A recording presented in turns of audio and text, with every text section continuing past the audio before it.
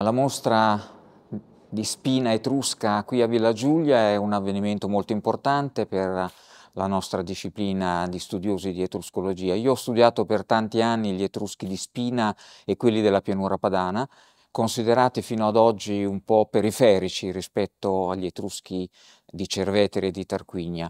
La venuta di questa mostra a Villa Giulia ha anche un significato simbolico, nel senso che eh, questi etruschi di spina qui nel tempio dell'etruscologia stanno a significare che la civiltà etrusca ha un eh, aspetto nazionale unitario, eh, la venuta a spina di questa mostra sta a significare che anche gli Etruschi del Nord partecipavano dei grandi processi storici che hanno interessato la civiltà etrusca. Non a caso il gemellaggio, il porto di Spina e il porto di Pirgi, non a caso tanti comportamenti nel rituale funerario, nel modo di abitare, rendono questa civiltà sempre più uniforme, sempre più unitaria. Non a caso appunto le fonti parlavano di quasi tutta l'Italia sotto il dominio degli Etruschi e mai come in questo caso eh, la cosa è realmente documentata.